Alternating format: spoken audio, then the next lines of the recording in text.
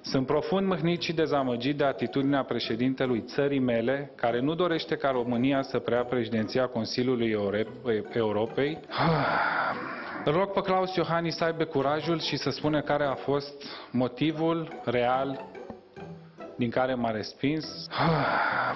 Claus Iohannis încearcă să blocheze obținerea de către fonduri europene.